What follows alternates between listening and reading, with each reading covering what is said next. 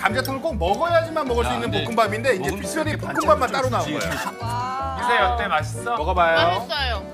밥만 따로 장난 가요. 아 근데 어때 볶음밥에서 감자탕 이 맛이 나? 그 국물에 대한 어, 때잖아. 그래서 감자탕 볶음밥 와나 진짜 배고팠어 근데.